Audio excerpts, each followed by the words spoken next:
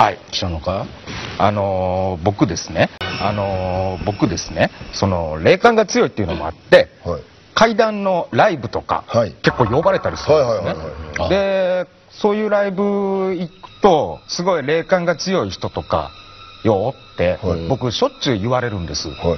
ついてますよみたいなことを言われて、その怪談のライブで一人漫画家の女の人がはい僕のことずっと睨んでるんですね怖いわもう。で、はい。僕の顔じゃなくて、はい。僕の左の方をずっと睨んでるんですね、ちょっとなんなんすかねみたいな感じで僕聞いたんです、そしたらその女性の人が、あのー非常に言いづらいんだけど君の左の肩に頭から血出した女の子がこうなってるよって言うんですね。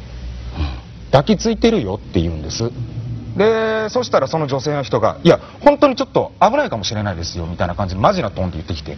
であのーお清めの塩をこの会場来るまでに神社でもらってきたんでこの塩あげるんで家帰って家入る前にその塩を巻いてから家入った方がいいって言われたんですね、でああそうですか言って。で塩もらってで僕帰ったんですけどこう帰る時にちょっとその言われたことが気になって何かあったかなと思ってたら、あのーその会場に行く時にね、あのー僕道で花束とランドセル赤いランドセル置いてあるのうん。見たの思い出したんですよ。あこれかなと思って、うん。でそう思いながらまあ家着きまして。でまあ56年前なんですけどもう古いアパート住んでて。で僕お金ないんで、まあ、後輩の芸人と2人暮らししてたんですけど。で、まあ、その家着いてで言われた通りこう塩巻いたんですね。で巻いて、まあ、これで大丈夫やろなと思って家入ったんです。そしたらまあ同居人がちょうどいなくて。これで僕ちょっとうとうとしてもうて。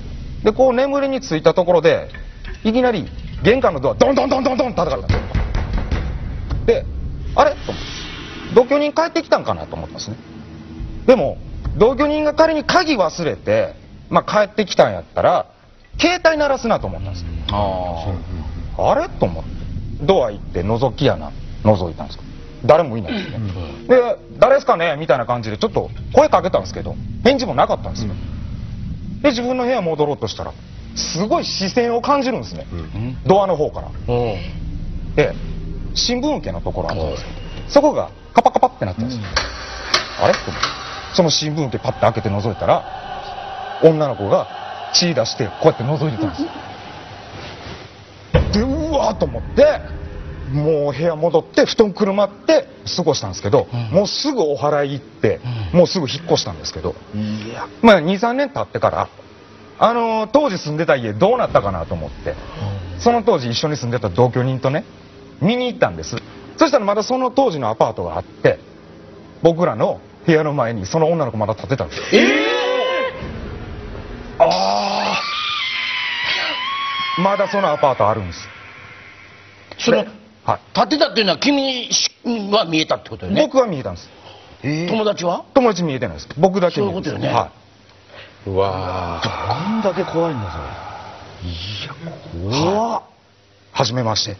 はい？なんかなんか喋らなあかんから。はじめまして。初めましてわけわからんこと言っちゃいました編集で始めましてよ前に持ってきたありがたいです